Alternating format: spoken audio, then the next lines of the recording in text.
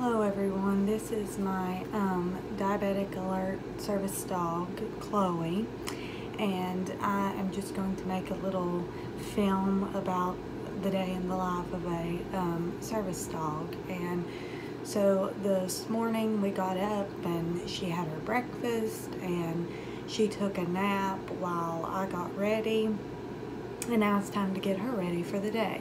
So first we start with brushing her teeth and I use um, the Virbac CT toothpaste and with a baby toothbrush and brush your teeth.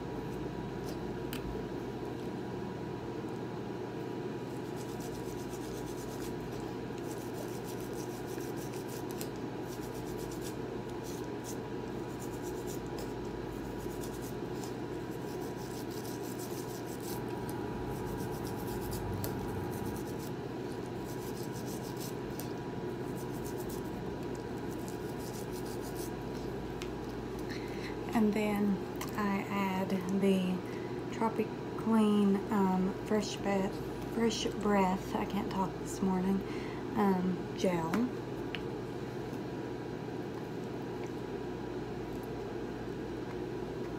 Just a little bit.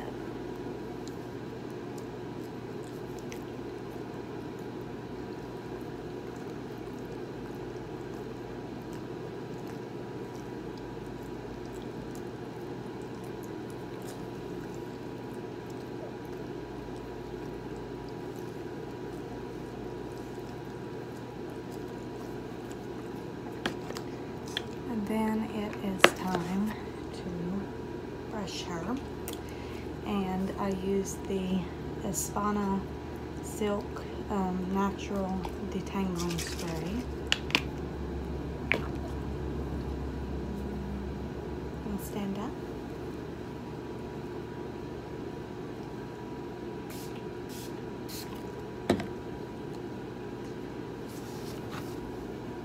She ran away. I usually don't brush her right here. She thinks she was done. Okay, we're back.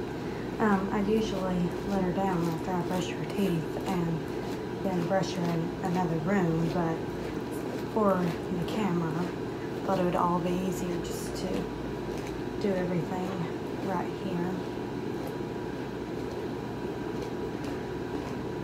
So it's important for a service dog to be very used to being handled, um, to be good for grooming and um, really anything that you need to do to them because it's very important to keep a service dog very well groomed um, and clean because they are out in public areas and in restaurants, um, grocery stores, um, places where there's food, um, and you just don't want them smelling and um, tatty. It's very important that you know their their hair is kept trimmed, and um, I mean obviously Chloe has long hair, but it's still important that I keep, you know, her um, hair trimmed like around her feet and on um, the bottom of her feet especially between her paw pads. And that way you know it's easier for her to walk and she's not slipping. Um, so I keep her paws see trimmed really short. So she's not slipping around.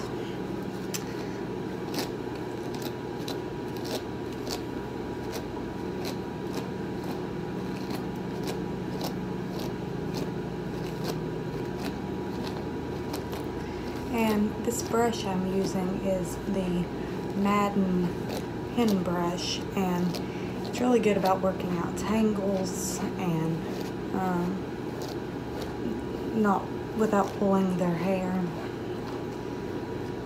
So I just brush her out really good. Get all of the loose hairs, even though she's a Yorkie and Yorkies don't really shed. I mean, they lose hair kind of like a human. I mean, she's not been brushed in two days because she's just really not needed it. Um, she's not been doing anything active and hasn't gotten tangly, so that's about two days of loose hair that I just brushed out, and, and that's really all she sheds. And so at night, I take her hair down. As you can see, it's in her face. And I let her head rest just like us. Um, her eyes aren't open at night, of course, and so she doesn't really need to see. And so I just let her hair down and let it rest. And but during the day, I just put one of these little scrunchies in it and hold it back. Gonna let me fix your hair. And when I tell her I'm gonna fix her hair, she just lays her head down and lets me fix her hair.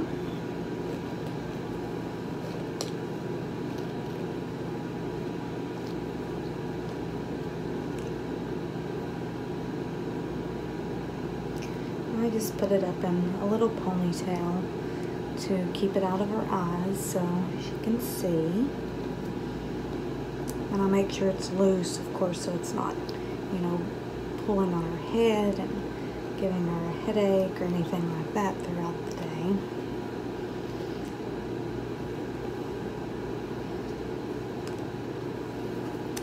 So I just do this and I leave some room to where it can move up and down and put in the little scrunchie.